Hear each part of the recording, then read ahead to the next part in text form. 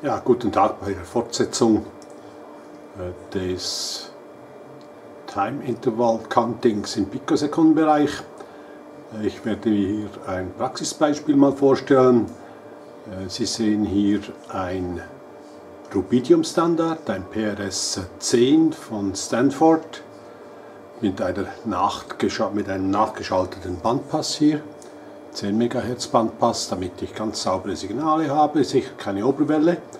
Und dieses PRS-10, dieser Rubidium Standard, ist mit einem U-Blocks GPS Receiver mit einem 1 PPS Ausgangssignal synchronisiert oder eben syntonisiert, sodass ich die kurzfristige Stabilität des Rubidiums mit der Langzeitpräzision des GPSDs kombinieren kann. Diese Kombination bewährt sich, äh, man muss allerdings Geduld aufbringen. Bis die beiden Systeme wirklich synchronisiert sind, dauert es äh, ab und zu Tage, also nicht Stunden oder Minuten, sondern Tage.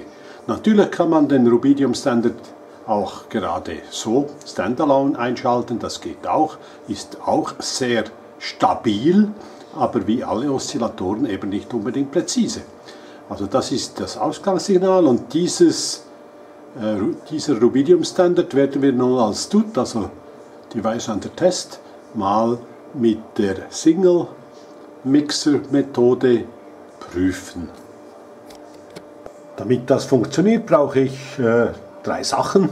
Erstens einen Local Oscillator, der die Differenz zum zu untersuchenden Signal macht. Ich habe dazu meinen Siglent 2042X eingesetzt mit einer, Sinus, äh, mit einer Sinusform und eben 9.9999 MHz.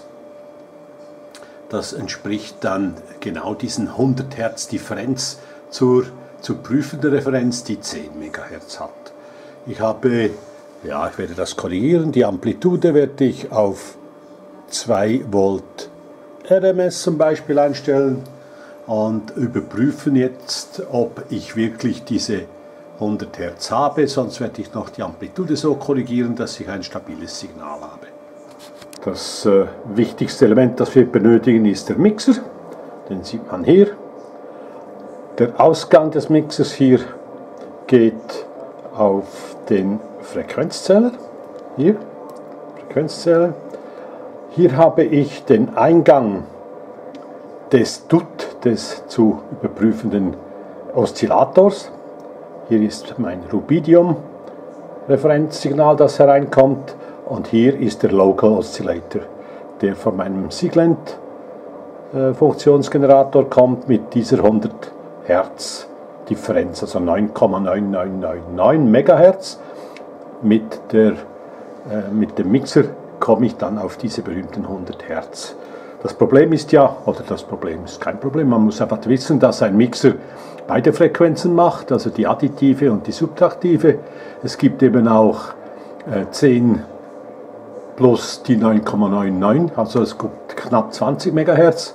Deshalb hat man oder braucht man eben diesen Low-Pass-Filter, der im Schema angezeigt ist.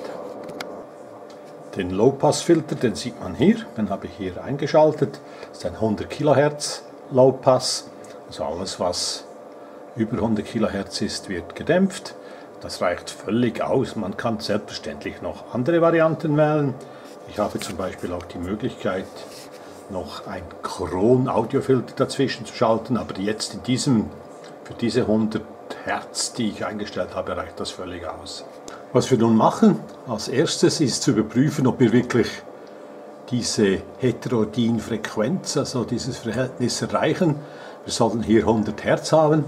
Äh, ich muss das Gate ein bisschen erhöhen, weil es sonst das unstabil ist. Also ich gehe mal auf eine Sekunde Gate und dann schauen wir, wie die Frequenz aussieht. Also 100 Hertz. Ja, also das variiert wirklich nur ganz, ganz wenig, also 100 Hertz. Und jetzt, was wir jetzt machen, jetzt messen wir nur noch die Periode. Also das heißt, wir schalten jetzt um auf Periodenmessung und dann können wir direkt via Timelab zum Beispiel äh, können wir äh, die Frequenzabweichungen und die Allen oder Hadamard Deviation messen. Das werde ich Ihnen kurz zeigen. Also jetzt schalten wir um auf Periode hier, Periodenmessung. Und was wir jetzt sehen, sind Pikosekunden. Also wir sind jetzt hier bei Sekundenanzeige und äh, da haben wir jetzt diese gewollte Auflösung. Wir könnten jetzt noch skalieren, das werde ich auch noch versuchen. So, ich habe nun die Skalierung eingestellt, damit ich nicht mehr Sekunden habe, sondern Mikrosekunden hier. Die Anzeige, vielleicht sieht man das, hier sind jetzt Mikrosekunden.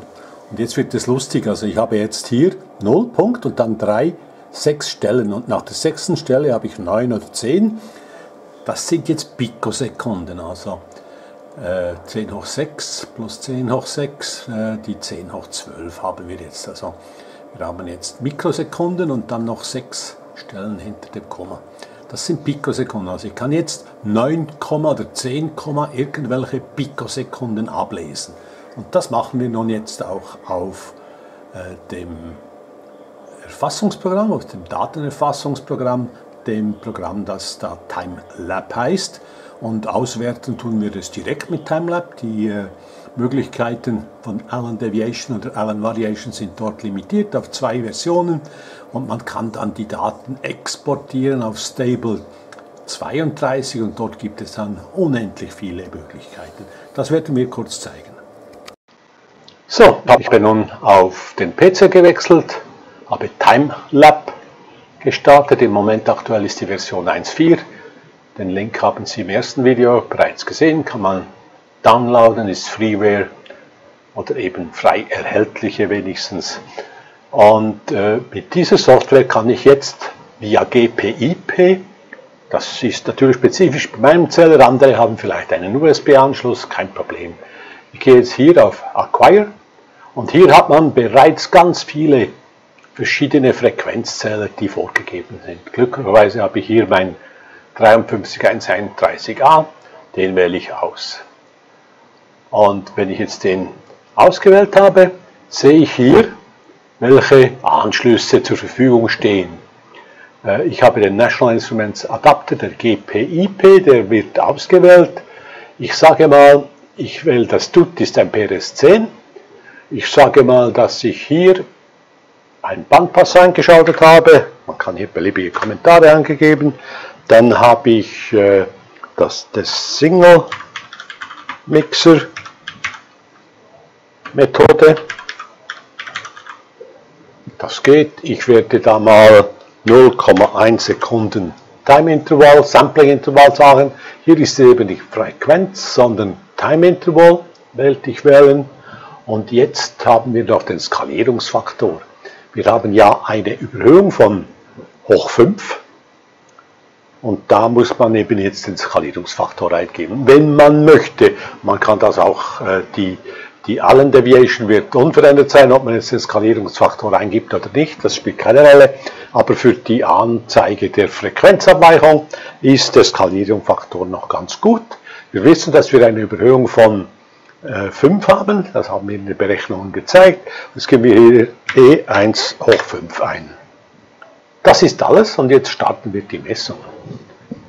Ich habe noch äh, die Akquisition um ein paar Sekunden verzögert damit äh, der Start ein bisschen problemloser geht. Und jetzt messen wir direkt diese Periodendauer. Sie sehen, wir sind jetzt tatsächlich bei einer Auflösung, ich möchte nochmal betonen, Auflösung gleich nicht Präzision, wir sind bei einer Auflösung von sagenhaften Pikosekunden hier. Und die Frequenz wird jetzt im 0,1 Sekundentakt aufgezeichnet. Wenn ich noch hier die Tickmarks Anzeige sieht man, dass man eben zwischen diesen Sekunden 0,1 Sekunden misst. Und dann sieht man auch, die Messpunkte sind nicht nur auf der Linie, sondern auch dazwischen. Kann man die Messpunkte sehen. Äh, was wir jetzt noch machen können, ich habe hier ein Averaging Window, also das wird das Window, das, das Fenster wird gemittelt auf 20 Sekunden, ist viel zu viel. Wir gehen jetzt da zurück auf zum Beispiel eine Sekunde, dann sehen wir unmittelbar, was passiert. Das ist jetzt der Fall. Wir sehen jetzt hier ganz genau, was innerhalb der Sekunde passiert. Das ist eine ganz interessante Sache. So passiert jetzt das. Genau. Was wir jetzt können, wir können direkt hier unter messen können wir die Allen Deviation, die Modified Allen Deviation und die Hadamard Deviation anzeigen und sogar noch die Time Deviation. Allen Deviation wird eigentlich heute nicht mehr benötigt oder nicht mehr eingesetzt. Gut ist Modified Allen Deviation oder Hadamard. Ich werde Ihnen rasch dann die Unterschiede zeigen. Die Modified Allen Deviation hier zeichnet jetzt auf die Qualität, die Stabilität dieses Signals. Und wir sehen, dass wir schon bei einer Sekunde hier eine hervorragende äh, Performance sehen können. Nochmals, ob das absolut richtig ist, weiß ich nicht, vermutlich nicht, weil wir kumulieren ja den Fehler des Rubidium Standards mit dem Fehler des GPSDOs. Beide sind ja ungefähr gleich gut. Also man sollte als Referenz eine zehnfach bessere Referenz haben als das, was wir prüfen. Das ist hier nicht der Fall.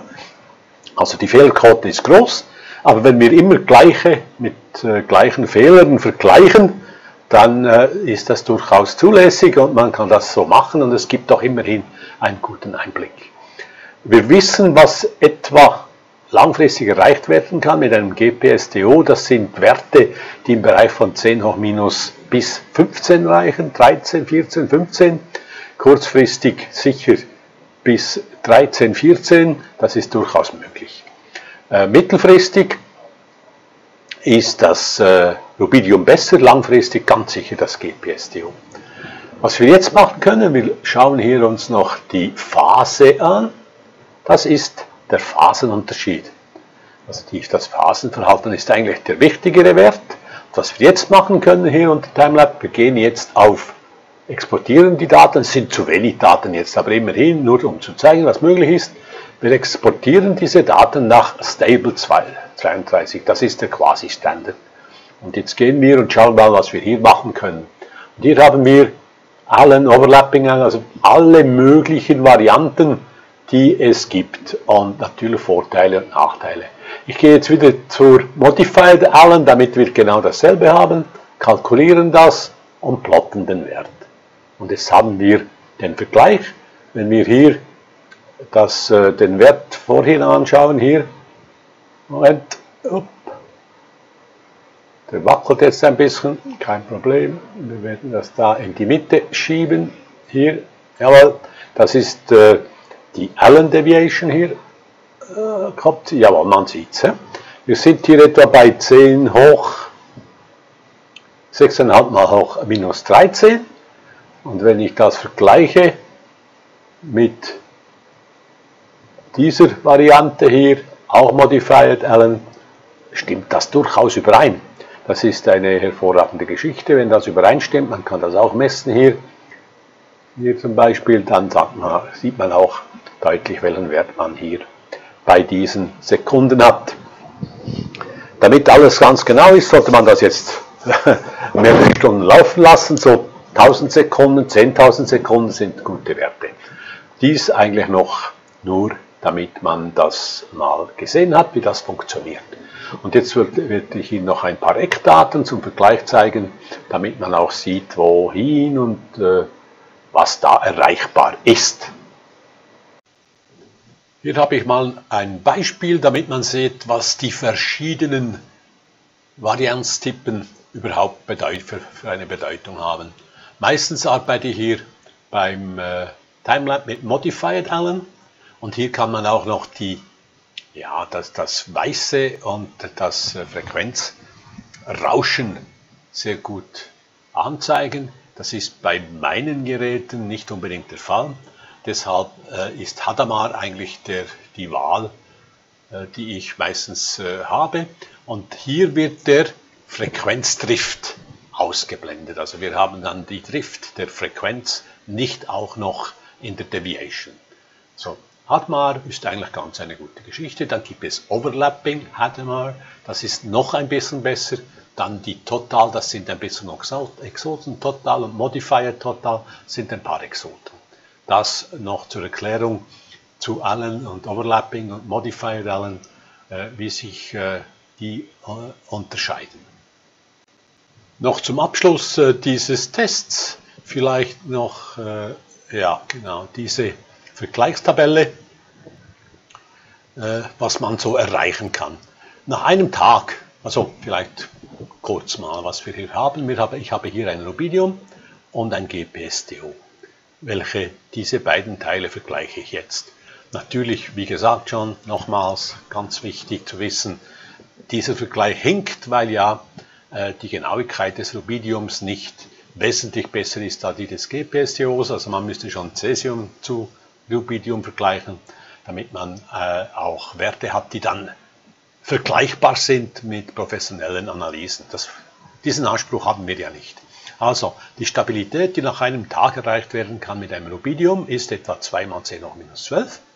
Interessanterweise, schon nach einem Tag haben wir mit dem GPSTO die höhere Genauigkeit. Nicht die höhere, also die höhere Stabilität bereits nach einem Tag. Was jetzt wichtig ist, äh, ist auch noch die, äh, ja, das Altern des Rubidium. 5 mal 10 noch 11 pro Monat, das ist also praktisch unerheblich. Beim GPSTO haben wir keine Alterung, weil wir ja laufend immer wieder die neuen Daten abrufen. Also wenn wir nach einem Monat die Stabilität eines GPSTOs mit der Stabilität des Rubidiums vergleichen, haben wir Teile, also irgendwo im 10 hoch minus 15 Bereich sind wir in der Stabilität. Das ist enorm. Äh, erreicht man, wenn man ein GPSTO einen Monat ununterbrochen laufen lässt. Äh, ich würde da vorsichtig sein. Ich bin, deshalb habe ich das eingerahmt. Also wenn Sie 10 hoch minus 13, 2 mal 10 hoch minus 13 erreichen, äh, dann haben Sie schon sehr gute Konfiguration. Es hängt ja auch immer von der Antenne ab, von der freien Sicht, von der Anzahl von, äh, von sichtbaren Satelliten. Das ist noch ein ganz anderes Thema. Wenn Sie sich mit GPSTO befassen, ist das noch mit vielen anderen Unwägbarkeiten verbunden. Das als äh, Vergleichstabelle zum Abschluss meiner kurzen Präsentation. Schönen Dank für diesen Blick ins Labor und bis bald.